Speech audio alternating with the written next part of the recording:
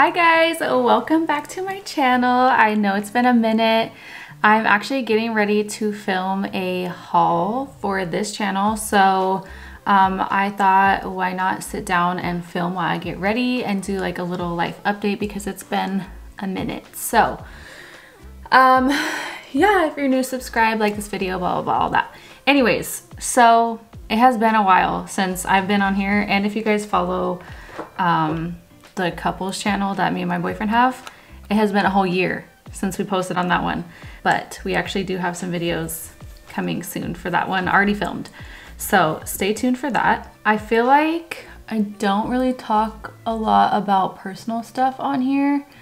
Um, but one of the main reasons that I have not been filming is I've been dealing with like crazy health issues since, well, honestly, the last couple years, but like majorly since um, September of 2022. So like the last, what is that, like seven, eight months, it's been nonstop for me. Um, been in the hospital, been working with countless doctors to try and figure out what the hell's going on.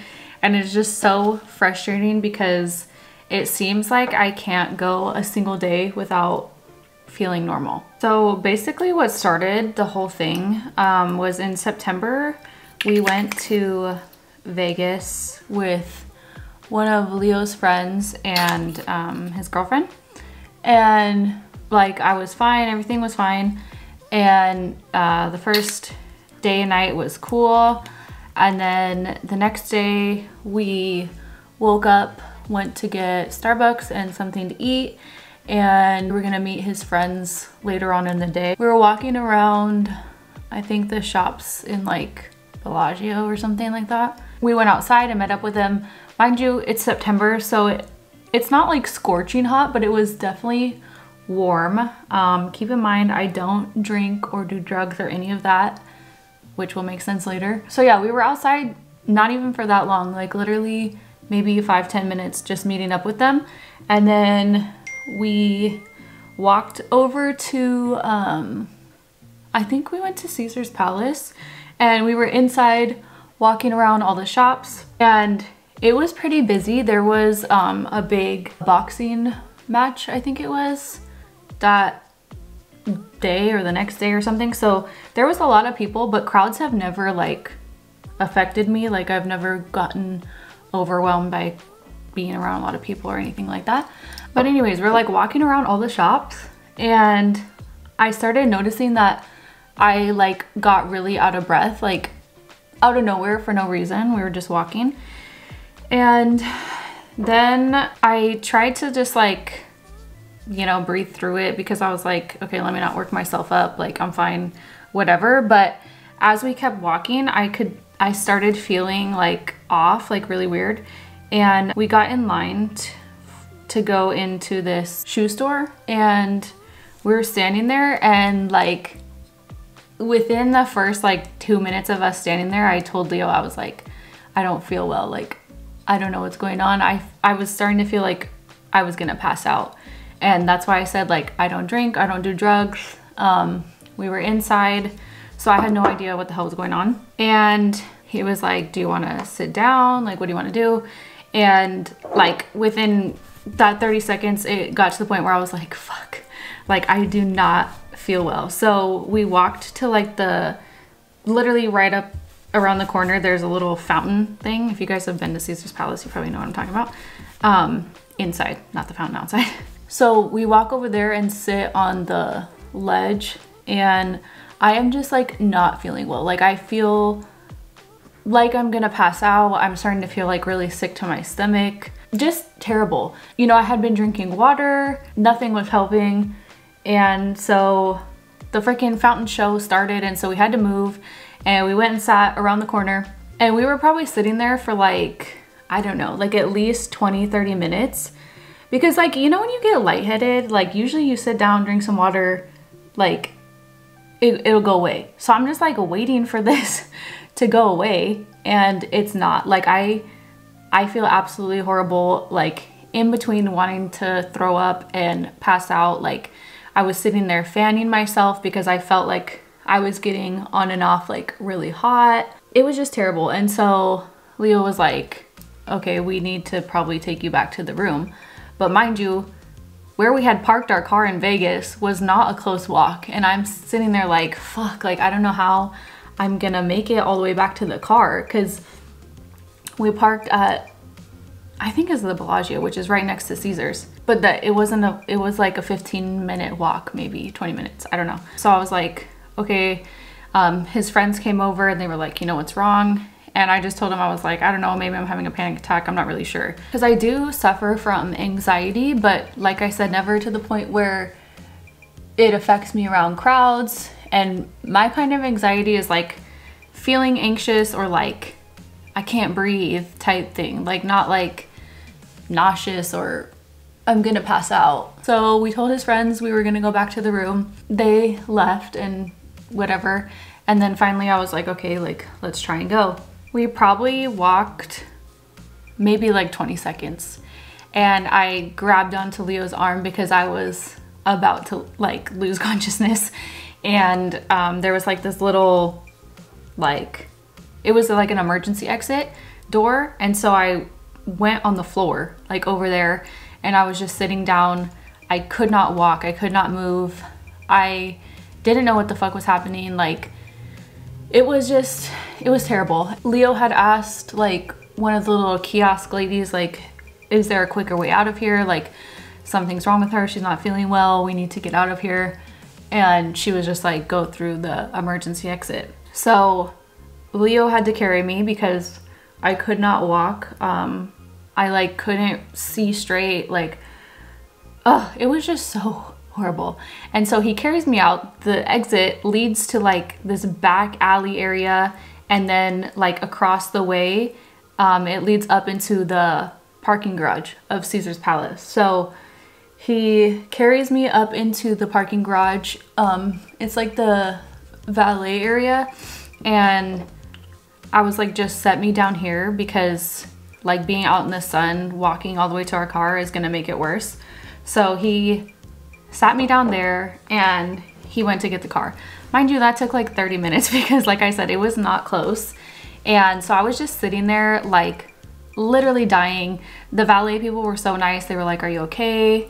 Um, and I was like, no, like something's wrong. I don't feel well. They brought me like a cold bottle of water. And I was just sitting there waiting for Leo to come back. So Leo comes and gets me and we go to the back to our hotel room and I'm like, okay, you know what? Maybe I just need to like lay down for a little bit and like take a nap and I'll feel better. And so I did that. I took a nap. But like every time I would get up, like even to go to the bathroom or even just laying there, like I felt so off. Like, I don't know. It was the weirdest thing. It was terrible. And that night we were supposed to go out to a bar casino to watch the fight. And I was like, I don't think I can. Like, I I could barely get up and back to the bathroom. And so we ended up staying in, which totally sucked. that was our last night there. We were only there for two nights. So we ended up staying in, watched the fight on uh, Leo's phone. And I'm like, okay, like I'm just gonna sleep for the night and like maybe I'll feel better in the morning. Next morning, I'm like, I still don't feel 100%. Like I still feel really off um, but I don't necessarily feel like I'm going to pass out anymore. So the plan. So the plan for that day was to meet his friends to go get something to eat and then like walk around and go shopping. But as soon as we got our stuff to the car and we're going to meet them, like I started not feeling well again. Like it was like coming in waves. Like it's like if I was standing and up mostly, then I would feel like I was gonna pass out. Like it was just really strange. I had drinking a ton of water, like I wasn't dehydrated. I don't know what the hell was going on. So anyways, we go to get something to eat. We tell his friends like we're just gonna leave because I'm not feeling well. So Leo drives home because I definitely can't drive. And on, on and off throughout the car ride, I was I was just not feeling well. Like I don't know what the hell was wrong. So over the next like week, after we got home, I just tried to like rest and take it easy because I was like, you know, it'll go away, obviously. Like maybe I was somehow dehydrated or maybe it was anxiety or whatever. Like, I don't know. But I was like, if I rest, it's gonna go away. Um, it didn't. I remember we tried to go grocery shopping. On the way to the grocery store, I was like, I started feeling like I was gonna pass out again. And I was like, what the hell? So literally, Leo had to go in the grocery store and FaceTime me and do all the shopping. Like, it was just like multiple times throughout that next week that I was like almost passing out. And I'm like, finally, I was like, okay, we need to go to the doctor because like this is not normal. Like one time, yeah, fine, like whatever. But multiple times, like throughout that next week, like no. So we end up going to the ER. I think it was like late afternoon, like something like that. Um, BRB, let me finish this contour really quick and I'll be right back. All right, so we go to the ER in the afternoon and um, it's freaking packed. Like it is so packed and I am like fanning myself. I'm freaking get hot and chills and like I feel like I'm gonna pass out. So Leo takes me in in a wheelchair because I know if I had to stand there, I would have been on the floor. Maybe they would have taken me in quicker. But so anyways, we're we're waiting and waiting and waiting and waiting and waiting literally for hours. Like they take you back semi quickly to like take your blood and whatever, but then you're back out to the lobby or the waiting room. And so we're waiting. Leo has to wake up at seven the next day for work because uh, it was a weekday.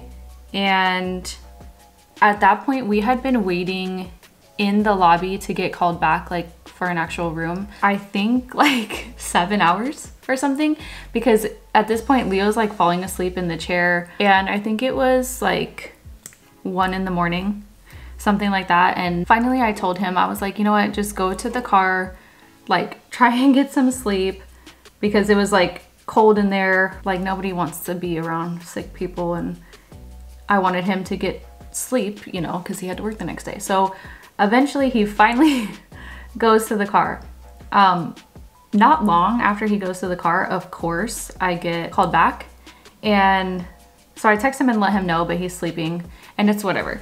And like I said, it was so busy that day that I ended up getting put on a bed in the hallway. Like when you get taken back into ER, I didn't get one of the little like rooms that they actually have. I was in a bed on the hallway, which looking back was like honestly such a blessing because of like what happened next. You know, basically they they ran my blood and they were like, you know, we're gonna just keep you here um, and hydrate you while we wait for your blood work and blah blah blah because maybe you were just like super dehydrated or you know whatever. So I'm just sitting there feeling like shit. They hook me up to an IV with like a bag of saline or something like that. And they come back and I had to go get um, a CAT scan because they wanted to make sure that um, I didn't have any blood clots because my blood work came back and they do this test called a D-dimer which can detect blood clots and it came back elevated. So they were concerned that maybe I had a blood clot in my lung or you know somewhere that was causing these symptoms. So I had to get a CAT scan.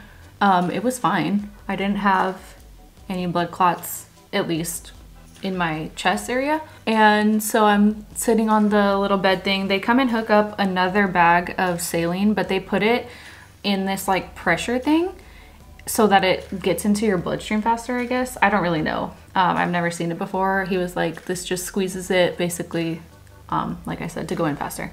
So they do that and I'm like sitting there on my phone, just, I think I was like watching Netflix or something to try and like distract myself because at this point we had been there like nine, 10 hours and I'm exhausted. I feel like shit.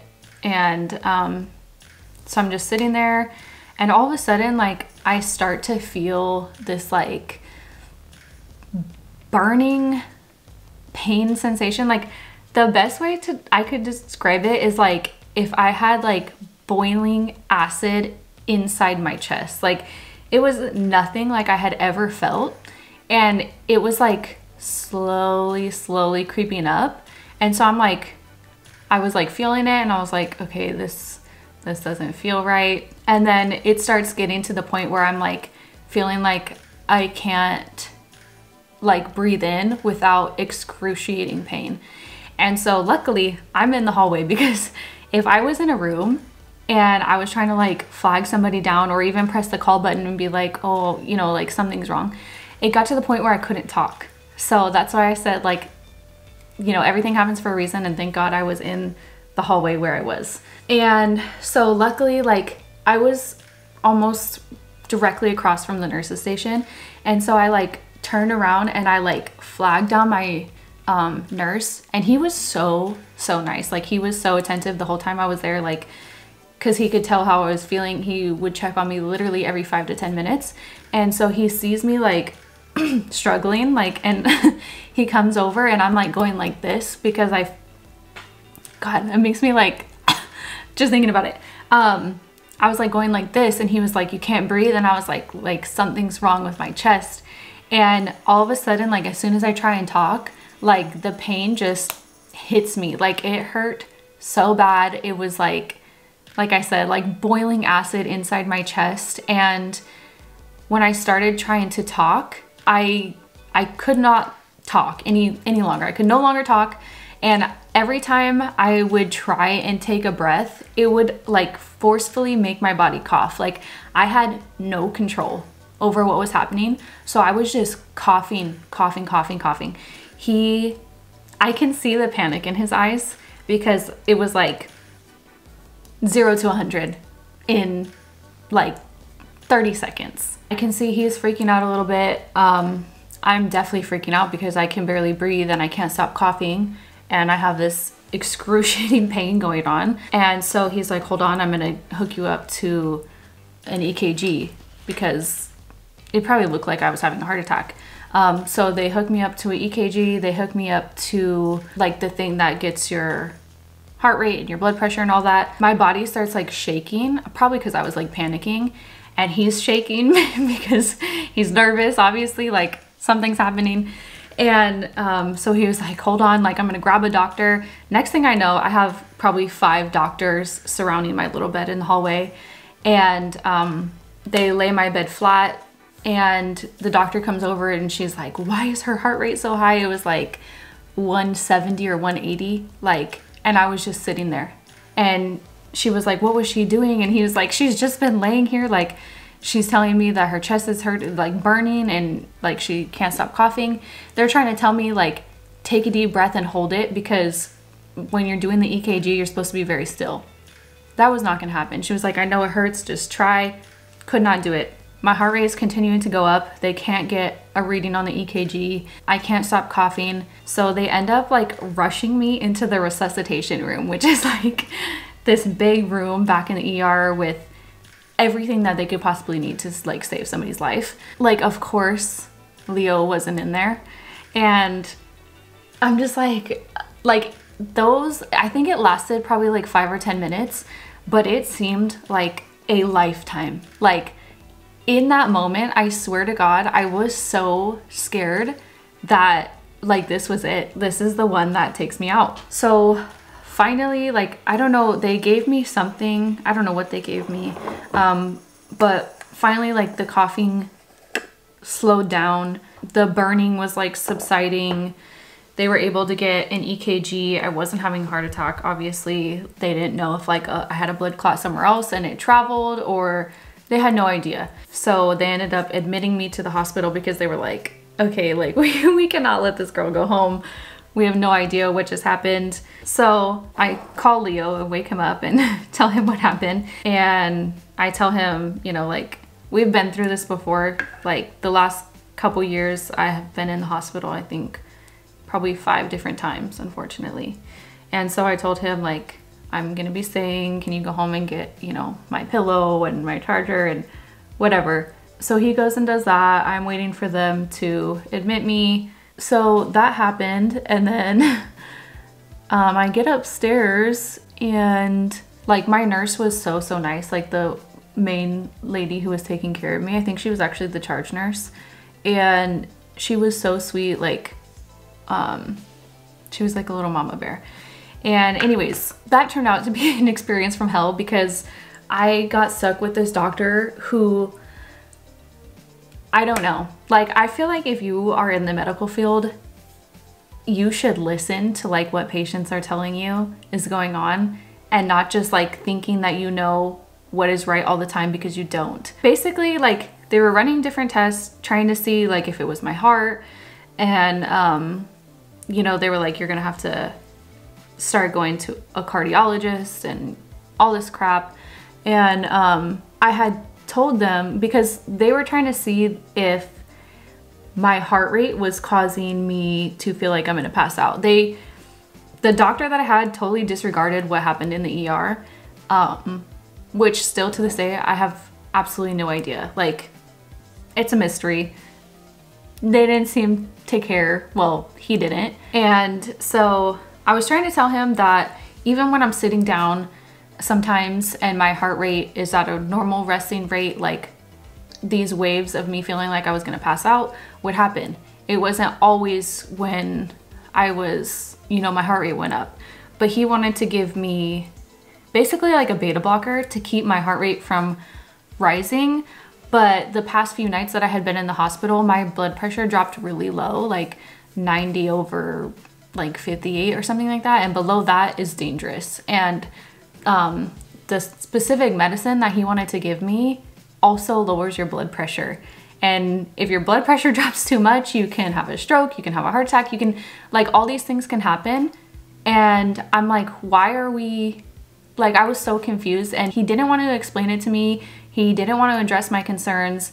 Um, his intern, I barely saw him. His intern came in and I was trying to tell him, like, you know, my heart rate is normal at this very second, and I feel like like it's happening again. So why am I gonna take something to slow my heart even more and drop my blood pressure even more when my heart rate is clearly not the issue? And um, even his intern, he was like, no, that makes sense. Like, I'm not really sure. I'll ask him, all this stuff. Basically, it, it got down to the point where he was like, the doctor basically said, take this medicine or get out. And I was like shocked because if he had just come in and explained to me like calmly what his thought process was, why he wanted to try this, like what backup measures they had if this medicine had a bad side effect on me because of how low my blood pressure was already, made me feel comfortable, I probably would have done it. I would have stayed and, and taken what he wanted me to take. But like I'm a firm believer in advocating for yourself and I had another instance before in the hospital that um, I did the same thing. I advocated for myself and it turned out to be correct and what they would have given me that last time would have made me extremely sick. And so anyways, I stood my ground and unfortunately like um, even my nurses, they told me that I recommend you go somewhere else because clearly this doctor is not listening. He's not paying attention. Um, I had one nurse tell me like, I don't even recommend you taking this. Obviously, like I can't give you advice, but um, she's like, I've never seen a doctor act this way and I don't blame you for wanting to leave. Like this doctor literally yelled at my grandma. My grandma wanted to talk to him. She knows a lot about the med medical field. She wanted to talk to him about the whole situation why he wanted to put me on that medication. And he literally was yelling at her. Like it was just, it was insane. Like nothing like I've ever seen before. So I was like, okay, well then I'm gonna leave. Nothing was solved. They weren't, you know, they weren't able to figure anything out. They had sent over like extensive blood work to um, the Mayo Clinic and that was gonna be a few days before I got any results, but if I didn't take that medicine, he was telling me I had to leave. And obviously, like, I don't want to take up a room when somebody else needs it in the hospital, right? But I was just like, it's not that I want to stay, but I just want to figure out like what the hell is going on because I can't live like this. Like every time I try and go do something, I almost pass out. It's just whatever. So I left. Um, I didn't end up going to another hospital because I was just exhausted. Like mentally, physically. I just wanted to go home. And so I end up going to like my regular primary doctor who then sends me to a cardiologist and a neurologist um, because most of the time if you're passing out, it has something to do with your heart. But I guess rarely it could be with your brain, but um, yeah. So literally since then, September, I think I started going to doctors in October. It is now the end of March and I am still dealing with the same shit. I have a cardiologist appointment almost two, three times a month. Um, I've been to the neurologist two or three times. I have to get, I have an MRI coming up because they want to make sure it's nothing with my brain. I have an EEG that I have to do, which basically um, makes sure that I'm not having any like mini strokes. Like I've had to wear heart monitors and do all these tests. Like it's just, it's a never ending thing, honestly. And it is so exhausting mentally. Like to this day, I still don't feel well. Majority of my days, I don't feel well. So that's a big reason why I haven't um, been filming anything. So yeah, that's my life update. Um, I'm gonna go finish the rest of my makeup really quickly off camera and I will be right back. All right, makeup is done. Hair is slowly drying. Um, but yeah, that is my short version, honestly, of my life update. Uh, it's a lot of stuff I don't normally talk about. Like sometimes I'll post on my Instagram story about my doctor's appointments and stuff, but um, that's kind of the full story of how it all started and what I'm still dealing with.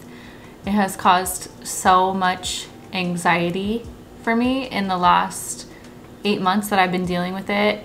And now this anxiety that I have is like debilitating. Like, um, even me going to the grocery store or to the movies or anywhere that I go now, I have such anxiety because I'm so scared that I'm going to pass out or I'm going to, you know, like something like what I've been dealing with is going to happen while I'm out. And that's like caused major anxiety regardless of where I'm at, who I'm with. Um, so yeah. um, hopefully you guys enjoyed this video. I am now going to film a new haul for you guys. So make sure you check it out. It'll probably be after this video. Um, but yeah, thanks for listening and it feels good to be back filming again. And don't forget to check out our couples channel because we have a lot of stuff coming up over there. So um, yeah, I'll see you guys in my next video.